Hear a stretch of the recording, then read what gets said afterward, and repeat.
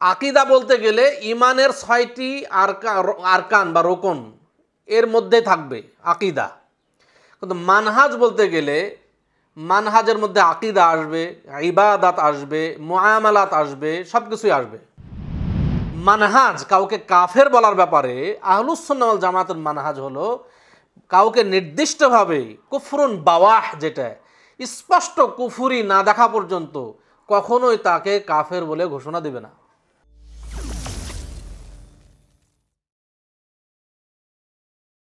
আত্মাহারিক TV ওহির আলোয় উদ্ভাসিত জীবনের জন্য।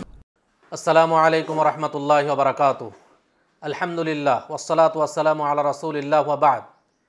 সম্মানিত দর্শক শ্রোতা মণ্ডলী, আপনারা দেখছেন আত্মাহারিক টিভির নিয়মিত অনুষ্ঠান প্রশ্নোত্তরে ইসলামী আকিদা। তা আজকের পর্বে আমরা প্রথম প্রশ্ন নিয়ে এসেছি, আকিদা এবং মানহাজ কাকে বলে? আকিদা এবং মানহাজ এর মধ্যে পার্থক্য কী? বিষয়টি অত্যন্ত গুরুত্বপূর্ণ। আকিদা না বোঝার কারণে আজকে আমাদের দেশে আকিদাগত সমস্যা অনেক বেশি। আর মানহাজ না বোঝার কারণে আমাদের মধ্যে মতভেদ, দ্বন্দ্ব, ফাসাদ, মারামারি এগুলো অনেক বেশি। যদি আমরা আকিদা কী জিনিস, মানহাজ কী জিনিস এটা সুন্দরভাবে বুঝতাম, তাহলে আমাদের আকিদা এবং মানহাজ দুইটাই ঠিক হতো। আমাদের মধ্যে দ্বন্দ্ব, ফাসাদের অবসান ঘটত। তাহলে প্রথমে বলব আকিদা কাকে বলে? আকিদা শব্দের অর্থ হচ্ছে বন্ধন।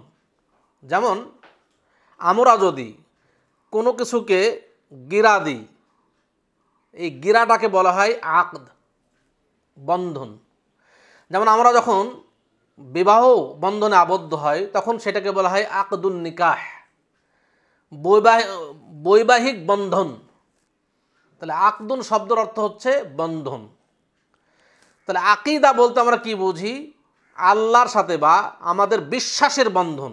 আমাদের আল্লাহ সম্পর্কে কি বিশ্বাস হবে? রাসুল সাল্লামের সম্পর্কে কি আকিদা হবে, বিশ্বাস হবে?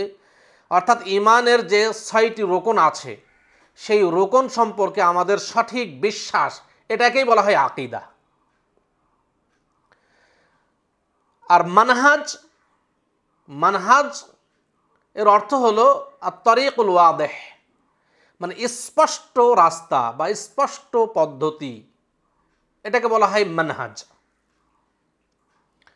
তাহলে মানহাজ আর আকিদা, এই দুইটার মধ্যে পার্থক্যটা কোন জায়গায়? আকিদার চাইতে মানহাজটা ব্যাপক। অর্থাৎ মানহাজের মধ্যে আকিদা রয়েছে। মানহাজ যদি বলি, তাহলে আকিদা কিন্তু তারই একটা পার্ট আকিদা বলতে গেলে ইমানের ছয়টি আরকান বা রোকন, এর মধ্যে থাকবে আকিদা। কিন্তু মানহাজ বলতে গেলে মানহাজের মধ্যে আকিদা আসবে, ইবাদাত আসবে মোয়ামালাত আসবে সব কিছুই আসবে। তো আকিদা আর মানহাজ, এটা আমরা সুন্দরভাবে বুঝব। আকিদা, যেমন আমরা বিশ্বাস করি আল্লাহ সম্পর্কে আমাদের আকিদা কি হবে? আল্লাহ সম্পর্কে আকিদা যা আল্লাহ তালা আছেন। আল ইমান বি উজুদিল্লাহ আল্লাহ তালা আছেন, এর উপর বিশ্বাস। আল ইমানু বি রুবইয়াতিহি আল্লাহ তালাকে রব হিসাবে এক মেনে নেওয়া। তারপরে আল ইমানু বি উলুহিয়াতিহি আল্লাহ তালাকে ইবাদতের ক্ষেত্রে এক বলে বিশ্বাস করা। আল ইমানু বে আসমা ইহি ওয়া সিফাতিহি। আল্লাহ তালার যত সুন্দর সুন্দর নাম এবং গুণাবলী রয়েছে, এগুলো ক্ষেত্রে আল্লাহকে এক বলে বিশ্বাস করা। এটা আল্লাহ সম্পর্কে আকিদা। এখানে মানহাজ, আকিদার ক্ষেত্রে মানহাজ কি হবে? তাহলে আমাদের মানহাজটা কিসের হবে? আহলুস সুন্না আমরা যেটা বলি, মানহাজু আহলিস সুন্না ওয়াল জামা আহলুসুন্নওয়াল জামায়াতের মানহাজ।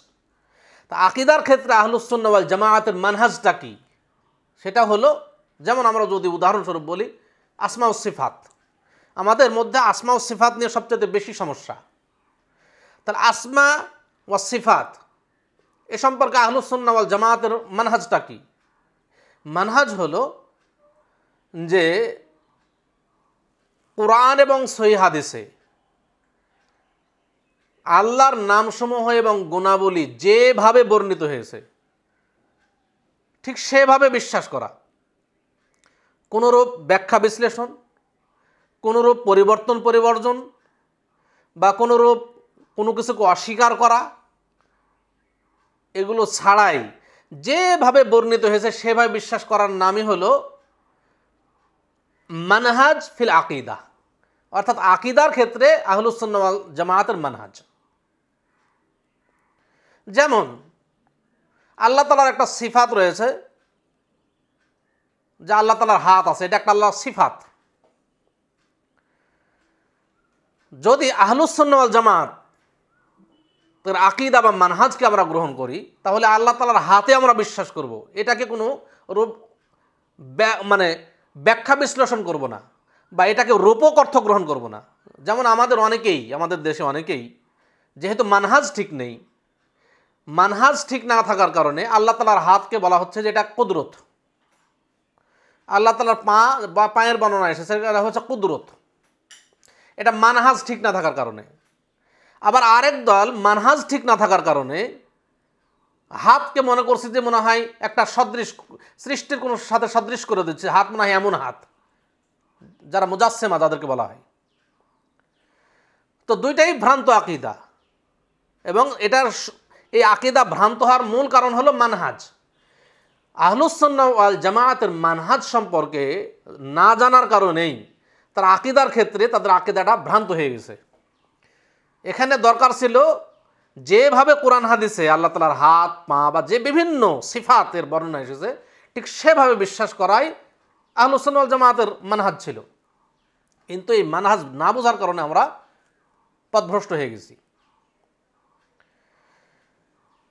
মানহাজ ফেলে ইবাদাত। তাহলে আমরা আকিদার ক্ষেত্রে মানহাজ বুঝলাম এবং ইবাদতের ক্ষেত্রে মানহাজ কি হবে? আহলুসন্নাওয়াল জামায়াতের মানহাজটা ইবাদতের ক্ষেত্রে কি? ইবাদতের ক্ষেত্রে মানহাজ হলো যে ইবাদাত হচ্ছে তাওকিফি। অর্থাৎ ইবাদাত কোরআন এবং সহি হাদিসের দলিল এর উপর দলিল দ্বারা নির্ধারিত। আহলুসন্নাওয়াল জামাতের মানহাজ ইবাদতের ক্ষেত্রে হলো, যে ইবাদতের আসল হলো নিষিদ্ধ। অর্থাৎ যতদিন পর্যন্ত, যতক্ষণ পর্যন্ত আপনি একটা ইবাদতের বৈধতার দলিল না পাবেন, ততক্ষণ পর্যন্ত আপনি ওই ইবাদাত করতে পারবেন না। এটা হচ্ছে আহলুসন্নাওয়াল জামায়াতের মানহাজ ইবাদতের ক্ষেত্রে। কারণ ইবাদত তৌকিফি আপনার মন যেভাবে বলছে সেভাবে ইবাদত করবেন। বা যেই কাজটাকে ভালো মনে করছে, আপনার মন, বিবেক বলছে যে কাজটা ভালো, আপনি সেটাকেই মনে করবেন ভালো। এটা আহলুসন্নাওয়াল জামাতের মানহাজ নয়। যদি আমরা আহলুসন্নাওয়াল জামাতের মানহাজটাকে বুঝতাম, তাহলে কখনোই দলিলের বাইরে কোনো ইবাদতকে জায়েজ মনে করতাম না। তাহলে আমাদের সমস্যা, মূল সমস্যাটা কোন জায়গায়? মানহাজগত সমস্যা। আমরা কোরআন, হাদিস সবাই পড়ছি। কিন্তু মানহাজটা না বোঝার কারণে কোরআন হাদিস পড়ার পরেও আমরা সঠিকভাবে সেই কোরআন হাদিসটি মানতে পারছি না। তাহলে যেটা বললাম আহলুসনাল জামাতের মানহাজ হলো যে ইবাদতের আসল হইল নিষিদ্ধ। অর্থাৎ ইবাদত ততক্ষণ পর্যন্ত করতে পারবেন না যতক্ষণ পর্যন্ত একটা ইবাদতের বৈধতার দলিল না পাবেন। যারা নিষেধের দলিল খুঁজেন, বলেন যে আমি এভাবে ইবাদত করছি এটা যে বিদাত। একটা দলিল দেন তো যে এটা বিদাত। রাসুল হাসান বলছেন, এই ইবাদত করা বিদাত। তাদেরকে বলব যে, ভাই, আপনি মানহাজ, গত সমস্যা আপনার মধ্যে আছে। আপনি মানহাজটি বুঝেননি। আপনি নিজেই যত, নিজেকে যতই ভাবেন যে আপনি আহলুসন্নাওয়াল জামায়াতের অনুসারী বা আপনি আহলুসন্নাওয়াল জামায়াতের আকিদা মানহাজের অনুসারী, কিন্তু আসলে আপনার আপনার মধ্যে বাস্তবতা সেটা পাওয়া যায় না। আপনার মানহাজ ঠিক থাকলে কখনোই আপনার মধ্যে এই প্রশ্নটা আসলো, আসতো না। তাহলে মানহাজগত সমস্যার কারণেই আমরা এ ধরনের প্রশ্ন করি এবং মানহাজগত সমস্যার কারণেই আমরা একটা দলিলবিহীন ইবাদতকে উত্তম মনে করি। এর সমস্যাটা মেন মানহাজগত সমস্যা। তো সম্মানিত দর্শক শ্রোতা মণ্ডলী রসুল্লাহ সাল্লাহ আলী ওয়াসাল্লাম আমাদেরকে বলে গেছেন যে, মান আহদাথা ফি আমরিনা হাদা মা লাইসা মিনহু ফাহরাদ কোনো ব্যক্তি যদি আমার এই দিনের মধ্যে এমন কিছু নতুন সৃষ্টি করে, যা আমার এই দিনের অন্তর্ভুক্ত নয় ফাহরাদুন তা প্রত্যাখ্যাত। তাহলে যেই নতুন কাজগুলো পরিত্যাজ্য বা পরিত্যক্ত, যেটা গ্রহণযোগ্য নয়, যেটাকে আমরা বিদাত বলি, যার পরিণাম জাহান্নাম এটা কোন বিদাত, কোন নতুন সৃষ্টি? দিনের মধ্যে নতুন সৃষ্টি। অর্থাৎ ইসলামের একটা বিধান ছিল না, নতুন কোনো বিধানকে সংযোজন করলাম। এটাই রাসুল সাল্লাহ সাল্লাম বলছেন ফাহুয়ারদ তা প্রত্যাখ্যাত, তা পরিত্যাজ্য, গ্রহণযোগ্য নয়। এটা রাসুল সাল্লাহ সাল্লাম আমাদেরকে মানহাজ দিয়ে গেছেন। তাহলে, রাসুল সাল্লামের এই মানহাজ যদি আমরা বুঝতাম,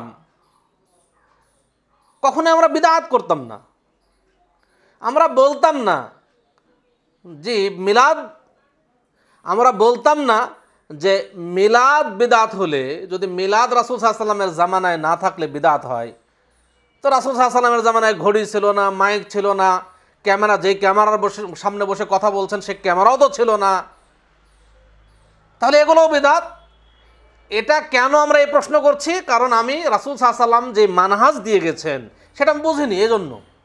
রাসুল সাল্লাম কোন বিদাতকে বা কোন নতুন কাজকে পরিত্যক্ত বললেন? যেই নতুন কাজ ইসলামের মধ্যে সংযোজিত হয়েছে, ইসলামের বিধানের মধ্যে সংযোজিত হয়েছে। ঘড়ি, মাইক, এগুলো ইসলামের বিধানের অন্তর্ভুক্ত নয়, এগুলো ইসলামের কোনো অংশ নয়।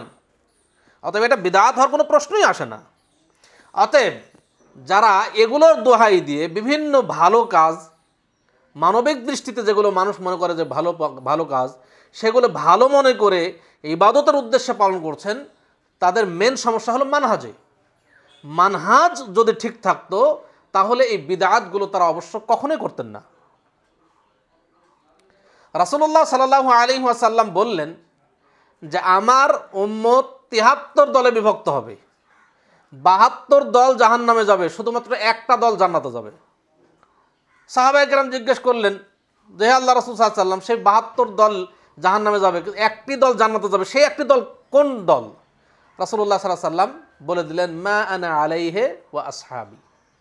আমি এবং আমার সাহাবাই কেরাম, যার উপরে আছি, এর উপরে যারা থাকবে, তারাই হবে জান্নাতি দল। এটাই মানহাজ। মানহাজটা রাসুল সাল্লাহ সাল্লাম এবং সাহাবাইকরাম যেভাবে দিন রেখে গেছেন, যেভাবে তারা দিন বুঝেছেন, আমরা যদি ঠিক সেভাবে বুঝি, সেটাই হলো মানহাজ। কিন্তু রাসুল সাল্লাম একদিন রেখে গেলেন, রাসুল সাল্লাম একটা বুঝেছিলেন সাহাবাইকরাম একরকম বুঝেছিলেন, আপনি আমি নতুনভাবে কোরআন হাদিসের আবার নতুন ব্যাখ্যা প্রদান করলাম, তাহলে বুঝতে হবে যে আমার মানহাজগত সমস্যা। যেমনভাবে উদাহরণস্বরূপ যদি বলি, আমাদের দেশে জুমার খুদ্া চলাকালীন সময়ে সালাত আদায় করতে নিষেধ করা হয়। যদি কোনো নতুন ব্যক্তি মসজিদে প্রবেশ করে, ইমাম খুদ্া দিচ্ছে এমত অবস্থায়, তাহলে নিষেধ করা হয়। অথচ রাসুল্লাহ সাল্লাহ আলী আসাল্লাম যখন একবার খুদ্া দিচ্ছিলেন, একজন সাহাবি, বিশিষ্ট সাহাবি, সোলাইক আল গাতফানি রাদে আল্লাহ তালানহু তিনি মসজিদে এসে বসে পড়লে রাসুল সাল্লাম তাকে বললেন যে, তুমি সালাত আদায় করেছ? না, আমি সালাত আদায় করিনি। রাসুল সাল্লাম বললেন, কম ফারকা রাকাতেন দাঁড়াও দুই রাকাত সালাত আদায় করো। তারপরে আবার রাসুল সাল্লাম সবাইকে সম্বোধন করে বললেন, যারা মুসল্লি ছিলেন, সবাইকে বললেন, ইদা দেখালা আহাদুকুমুল মসজিদ আওয়াল ইমাম ইয়াখতুব। যখন তোমাদের কেউ মসজিদে প্রবেশ করবে, এমতো অবস্থায় যে ইমাম খুতবা দিচ্ছে। তখন ফালা ইয়াজলিস হাত্তা ইউসাল্লি রাকাতাইন। সে যেন দুই রাকাত সালাত আদায় না করে না বসে। দুই রাকাত সালাত আদায় করে যেন সে। ওয়াল ইয়াতাজাউয়াজ ফিহিমা, এবং সে যেন সংক্ষিপ্তভাবে দুই রাকাত সালাত করে, লম্বা না করে। তাহলে রাসুল সাল্লাহ সাল্লাম এটা বলে গেছেন।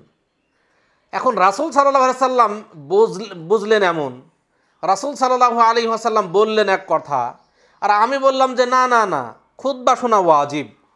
আর সালাত আদায় করা হচ্ছে সুন্নাত। ওয়াজিব ছেড়ে কীভাবে সুন্নাত আদায় করব। তাহলে আমি যে রাসুল সাল্লামের বুঝের বাইরে আরেকটা বুঝ বুঝলাম। তাহলে আমি মানহাজ বুঝিনি। এটাই মানহাজগত খেলাফ। আমার, আমি ইসলামকে ওইভাবে বুঝব যেভাবে রাসুল সাল্লাম বুঝে গেছেন। যেভাবে সাহাবায়ে কেরাম ইসলামকে বুঝেছেন। আমার বুঝটা হবে সেই, সেইভাবে। আমি কোরআন, হাদিস বুঝব, সাহাবায়ে কেরাম যেভাবে বুঝেছেন সেইভাবে। সাহাবায়ে কেরাম একভাবে কোরআন হাদিস বুঝেছেন। আমি নিজের মন মতো আরেকভাবে কোরআন হাদিসকে বুঝব। এটার নাম মানহাজ নয়। সাহাবা কেরাম যেভাবে বুঝেছেন, আমি ঠিক সেভাবেই বুঝব। এটাই হলো মানহাজ। যদি মানহাজগত সমস্যা না থাকে, তাহলে আমাদের মধ্যে এই সমস্যাগুলো দূর হয়ে যাবে। তাহলে আমাদের ইবাদতের ক্ষেত্রে মানহাজ ঠিক করতে হবে। সুন্নাত বিদাতের ক্ষেত্রে মানহাজ ঠিক রাখতে হবে। সুন্নাত বিদাত। আমরা সবাই জানি সুন্নাত কি, রাসুল যা করেছেন, করতে বলেছেন, সমর্থন করেছেন। এমন কাজ হলো সুন্নাত। আর রাসুল সাল্লাম করেননি, করতে বলেননি, সমর্থন করেননি। এমন কোনো কাজকে যদি ইবাদত হিসেবে পালন করি, ইসলামের বিধান মনে করে পালন করি, নেকির উদ্দেশ্যে পালন করি, তখন হবে বিদাত। আর এমন বিদাতকে রাসুল সাল্লাম বলছেন, কুল্লু বিদাতিন দলালা বা কুল্লু দলালাতিন ফিন্নার প্রত্যেক বিদাত ভ্রষ্টতা এবং প্রত্যেক ভ্রষ্টতার পরিণাম হলো জাহান্নাম। তাহলে রাসুল সাল্লাহ আলী আসাল্লাম সুন্নাত, বিদাত। বিদাত কি জিনিস? বিদাত কর- করলে তার পরিণাম কি? এটা বলে গেছেন। অতএব আমাদের সঠিক মানহাজের উপর থাকতে হবে। অর্থাৎ ইসলামকে সাহাবাইকরাম যেভাবে বুঝেছেন, সলফে সালেহেন যেভাবে বুঝেছেন, ঠিক সেইভাবে বুঝতে হবে। নিজের মন মতো বুঝবেন না ইসলামকে। নিজের মন মতো বুঝতে গেলে আপনি মানহাজ থেকে বাইরে চলে যাবেন। মুআমালাতের ক্ষেত্রে মানহাজ মহামালাতের ক্ষেত্রে আহলুসন্নাওয়াল জামায়াতের মানহাজ হলো যে মহামালাতের আসল হইল বৈধ। অর্থাৎ যতক্ষণ পর্যন্ত নিষেধের দলিল না পাবেন, হারামের দলিল না পাবেন, ততক্ষণ পর্যন্ত মহামালাত বৈধ। যেমন উদাহরণস্বরূপ বলি, আপনি গরুর গোস্ত খান, খাসির গোস্ত খান, মুরগির গোস্ত খান ফ্রাই করে খান বা পুড়িয়ে খান বা ঝোল করে খান, যেভাবে খান, বৈধ। অবৈধ কখন হবে? যখন নিষেধের দলিল পাবেন, হারামের দলিল পাবেন। যেমন শুকুরের গোস্ত হারাম। কেন হারাম? কারণ সরাসরি স্পষ্ট কোরআনের আয়াত রয়েছে, আল্লাহ তালা আয়াত নাজিল করেছেন, শুকুরের গোস্ত হারাম। অবৈধ বা হারামের দলিল না পাওয়া পর্যন্ত সেটা বৈধ থাকবে। আমাদের দেশে একটা মাসআলা বা একটা ফতুয়া আমরা ছড়িয়ে আছে যেটা আমরা সকলেই শুনি। যে চাচাতো বোনের মেয়ে, খালাতো বোনের মেয়ে, মামাতো বোনের মেয়ে বিবাহ করা যায় না। এটা আমাদের দেশে এমনিতে ছড়িয়ে আছে। তো যারা মনে করেন যে চাচাতো বোনের মেয়ে, খালাতো বোনের মেয়ে বা খালাতো ভাইয়ের মেয়ে, চাচাতো ভাইয়ের মেয়ে এগুলোকে বিয়ে করা যায় না, তারা অবশ্যই মহামারাতের ক্ষেত্রে আহলুসুন্না আল জামায়াতের মানহাজ থেকে বাইরে চলে গেছেন। কারণ ইসলামে যে সমস্ত নারীকে বিবাহ হারাম বলে ঘোষণা দেওয়া হয়েছে চাচাতো ভাইয়ের মেয়ে চাচাতো বোনের মেয়ের অন্তর্ভুক্ত নয়। তাহলে এটা বৈধ, একটা বৈধ জিনিসকে আপনি হারাম বলে দিচ্ছেন, নাজায়েজ বলে দিচ্ছেন। এটা কেন বলছি আমরা? কারণ আমাদের মানহাজগত সমস্যা। মানহাজ আহলুসোনাল জামাতের মানহাজ না বোঝার কারণে আমাদের মধ্যে সমস্যাটা হচ্ছে। অথচ দেখেন রাসুল্লাহ সাল্লাহ আলী ওসাল্লামের আপন চাচাতো ভাই ছিলেন আলী রাদিয়াল্লাহ তালানহু রাসুল সাল্লাহ আলী ওসাল্লামের নিজের মেয়ে ফাতেমা রাদি আল্লাহ তালানহাকে তার আপন চাচাতো ভাইয়ের সাথে বিয়ে দিলেন। এর চাইতে উজ্জ্বল, স্পষ্ট দলিল কোথায় পাবেন? এই এত স্পষ্ট দলিল থাকার পরেও আমরা বলি যে না, চলবে না। তাহলে অবশ্য কেন বলছি? মানহাজগত সমস্যা। আমরা আজকে দেখেন বাংলাদেশে কে কাকে কাফের বলবে? এর প্রতিযোগিতায় নেমেছি। যাকে যেভাবে কাফের বলা যায়, কাকে কীভাবে কাফের আখ্যায়িত করা যায়, অনেক আমাদের দেশে যাদেরকে আমরা আলেম মনে করি, তারা এর প্রতিযোগিতায় নেমেছি। অথচ আহলুসন্নাওয়াল জামায়াতের মানহাজ কাউকে কাফের বলার ব্যাপারে আহলুসন্নাওয়াল জামাতের মানহাজ হলো কাউকে নির্দিষ্টভাবে কুফরুন বাওয়াহ যেটা, স্পষ্ট কুফুরি না দেখা পর্যন্ত কখনোই তাকে কাফের বলে ঘোষণা দেবে না। এটা আহলুসন্নাল জামায়াতের মানহাজ, কাউকে কাফের বলার ব্যাপারে। অথচ কে কি করল? একটু কিছু করল, তো বলল কাফের কাফের কাফের ফতোয়া দিচ্ছি। এটা মেন সমস্যা, মানহাজগত সমস্যা। আজকে দেখেন আমরা বক্তব্যের ময়দানে কে কাকে কীভাবে ঘায়েল করতে পারি, কীভাবে কে কাকে গালাগালি করতে পারি, এর প্রতিযোগিতা করছে আজকে। আলেম সমাজ। এর সমস্যা মেন সমস্যা কোথায়? মানহাজগত সমস্যা। রাসুল সাল্লাহ আলী আসাল্লাম সাহাবা একরামের মানহাজ কী ছিল? কেউ কখনো কাউকে আক্রমণ করে কথা বলতেন না। কারোর মধ্যে যদি কোনো ভুল থাকে, তার তার ভুল সংশোধন করার পদ্ধতিও আছে। সুন্দরভাবে সংশোধন করবেন।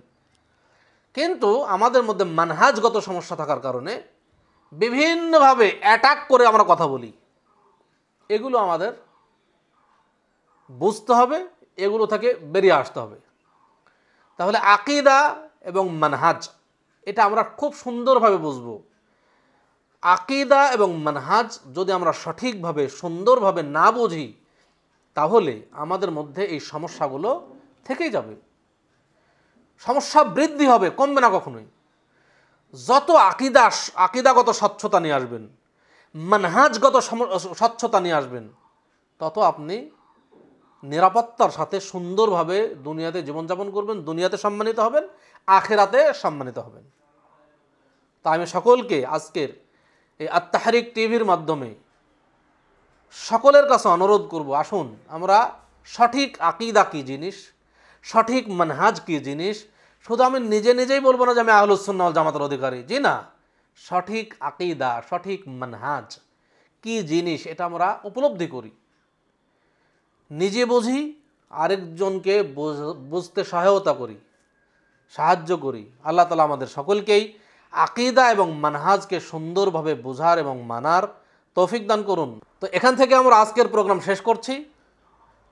আমরা আত্মাহারিক টিভির সকল দর্শককে আগামী প্রোগ্রাম আমাদের সাথে থাকার জন্য আহ্বান করছি এবং আপনাদের সকলের সুস্বাস্থ্য কামনা করে আজকে সমাপ্তি ঘোষণা করছি। আকুল কৌলি হাদা وأستغفر الله لي ولكم ولسائر المسلمين فاستغفروه إنه هو الغفور الرحيم. السلام عليكم ورحمة الله وبركاته.